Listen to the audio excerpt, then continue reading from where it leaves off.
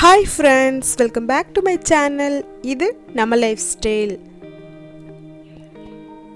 இன்னைக்கு iftar special evening snack egg puffs எப்படி செய்யலான்னு பார்க்கலாம்.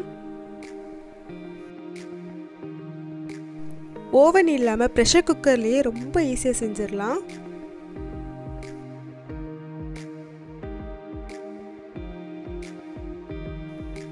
வீடியோக்குள்ளே போகிறதுக்கு முன்னாடி நீங்கள் நம்ம சேனலுக்கு புதுசுன்னா கீழே உள்ள ரெட் கலர் பட்டனை கிளிக் பண்ணி சப்ஸ்கிரைப் பண்ணிக்கோங்க. அப்படியே பக்கத்தில் உள்ள பெல் ஐக்கானையும் ப்ரெஸ் பண்ணிக்கோங்க. வீடியோட அப்டேட்ஸ் உடனுக்குடன் உங்களுக்கு நோட்டிஃபிகேஷனாக வரும். எக் பப்ஸ்க்கு தேவையான பொருட்கள் என்னென்னு பார்த்துடலாம். ஒன்று அப்புறம் அரை ஒன்று cup all purpose powder maida. மூணு முட்டை நல்லா பாயில் பண்ணி ரெண்டாக கட் பண்ணி எடுத்து வச்சுக்கலாம். ரெண்டு பெரிய சைஸ் வெங்காயம் நீளவாக்காக கட் பண்ணிக்கலாம். ஒன்றரை டேபிள் ஸ்பூன் நெய் பொடியாக நறுக்கின பச்சை மிளகாய் ஒன்று பொடியாக நறுக்கின மல்லி இலை பொடி பொடியாக நறுக்கின இஞ்சி ஒரு துண்டு ரெண்டு பல் பூண்டு அதையும் பொடியாக நறுக்கி வச்சுக்கலாம். கால் டீஸ்பூன் மஞ்சத்தூள் அரை டீஸ்பூன் கரம் மசாலா ஒரு டீஸ்பூன் மிளகாய்த்தூள் உப்பு தேவையான அளவு முட்டை ஒன்று ஃபஸ்ட்டு நம்ம மாவு பிசைஞ்சிடலாம். அதுக்கு ஒரு பவுலில் ஒன்று அப்புறம் அரை ஒன்றரை கப் அளவு ஆல் பர்பஸ் பவுடர் மைதா சேர்த்துக்கலாம். அது கூட கால் டீஸ்பூன் உப்பு ஒன்றரை டேபிள் ஸ்பூன் நெய் சேர்த்துக்கலாம். அப்புறம் ஒரு முட்டையை உடச்சி ஊற்றிக்கலாம் முட்டை ஊற்றுறதுனால நல்லா சாஃப்டாக இருக்கும் மாவு. ஒன்ஸ் இதை மிக்ஸ் பண்ணிவிட்டு அதுக்கப்புறம் தண்ணி சேர்த்துக்கலாம்.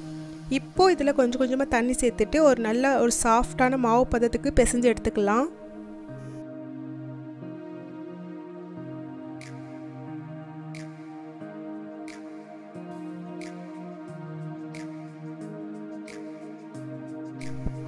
நல்லா சாஃப்டாக இந்த மாதிரி பிசைஞ்சதும் இதை ஒரு ஈர டவல் போட்டு கவர் பண்ணி ஒரு ஹாஃப் அன் ஹவர் வச்சிடலாம் இப்போ மாவு ரெடி ஆயிடுச்சு உள்ளக்குள்ளே ஃபில்லிங் ரெடி பண்ணிடலாம். அதுக்கு ஒரு பேனில் ஒரு டேபிள் ஸ்பூன் அளவு எண்ணெய் சேர்த்துக்கலாம். எண்ணெய் சூடானதும் இது பொடியாக நறுக்குன இஞ்சி பொடி பொடியாக நறுக்குன பூண்டையும் சேர்த்துக்கலாம்.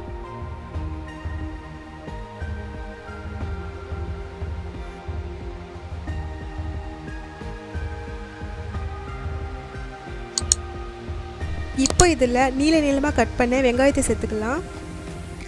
தேவையான அளவு உப்பு சேர்த்துக்கலாம். உப்பு சேர்க்கறனால வெங்காயம் சீக்கிரமாகவே வதங்கிடும் வெங்காயம் ரெண்டு நிமிஷம் வதங்கட்டும். வெங்காயம் வதங்கினதும் இதில் பொடி பொடியாக நறுக்கின பச்சை மிளகாயும் மசாலா எல்லாத்தையுமே சேர்த்துக்கலாம். கால் டீஸ்பூன் மஞ்சள்தூள் அரை டீஸ்பூன் கரம் மசாலா ஒரு டீஸ்பூன் மிளகாய் தூள் எல்லாத்தையும் சேர்த்துட்டு நல்லா கலந்து விட்டுக்கோங்க. மசாலாலாம் சேர்த்ததும் ரொம்ப நேரம் வைக்காதீங்க. கரைஞ்சிரும். மசாலாவோட பச்சை வடைலாம் போனதும் மல்லியில் சேர்த்துட்டு ஸ்டவ் ஆஃப் பண்ணிடலாம்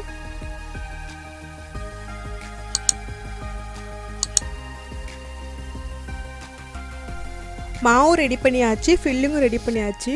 அடுத்ததாக இந்த மாதிரி சப்பாத்தி கட்டையில் கொஞ்சமாக மாவு ஸ்ப்ரெட் பண்ணிவிட்டு இதை நல்லா பிசைஞ்சு எடுத்துக்கலாம். மாவு நல்லா பிசைஞ்சுக்கோங்க. அப்போ தான் நமக்கு பப்ஸு சாஃப்டாக கிடைக்கும். இந்த மாதிரி பிசைஞ்சதும் இதை ரெண்டாக பிரிச்சுக்கலாம்.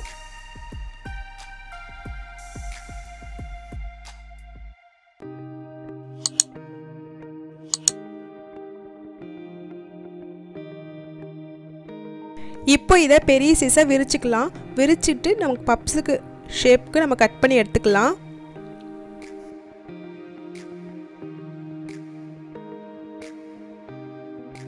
இந்த மாதிரி விரிச்சதும் நம்ம சைட்ஸ்லாம் கட் பண்ணிக்கலாம்.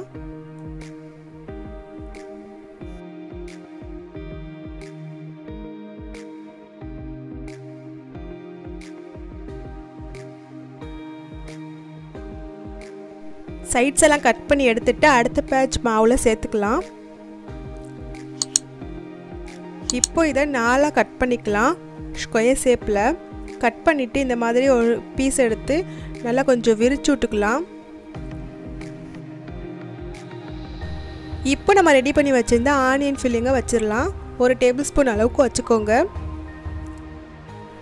இது மேலே நம்ம பாயில் பண்ணி வச்சுருந்த முட்டை ஒரு பீஸை சேர்த்துக்கலாம். கார்னர் எல்லாத்துலேயுமே ஆயில் அப்ளை பண்ணிவிட்டு ஒவ்வொரு கார்னராக மடிச்சு விட்டுக்கலாம்.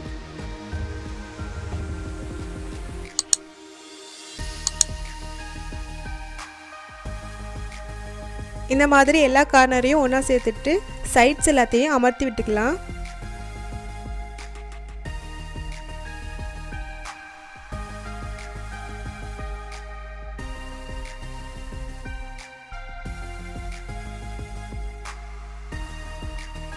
அடுத்ததாக ப்ரெஷர் குக்கரில் ஒரு டேபிள் ஸ்பூன் அளவு எண்ணெய் சேர்த்துட்டு இதில் பப்ஸு பீஸை சேர்த்துக்கலாம். லோ ஃப்ளேமில் வச்சுக்கோங்க. ஸ்டார்டிங்லேருந்தே ஃபுல்லாகவே சிம்மில் வச்சுக்கோங்க.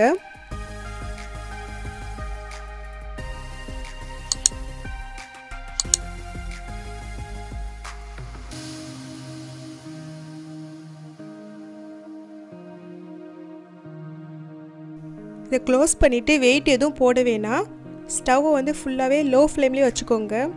இது ஒரு அஞ்சு நிமிஷம் இருக்கட்டும். அஞ்சு நிமிஷத்துக்கு அப்புறம் ஓப்பன் பண்ணி இதை திருப்பி போட்டுடலாம்.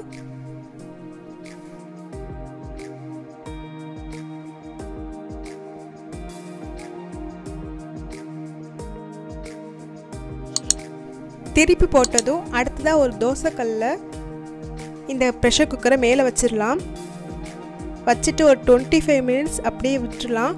ஃபுல் அண்ட் ஃபுல் லோ ஃப்ளேமில் வச்சுக்கோங்க. நல்லா பேக் ஆகட்டும். டுவெண்ட்டி ஃபைவ் மினிட்ஸ்க்கு அப்புறம் இது ரெடி ஆயிரும்.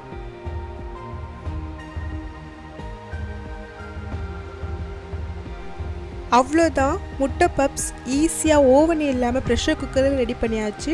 இஃப்தார் டைமில் நீங்கள் சூடாக சாப்பிடும்போது ரொம்ப நல்லாயிருக்கும் ரொம்ப சாஃப்டாக இருக்கும்.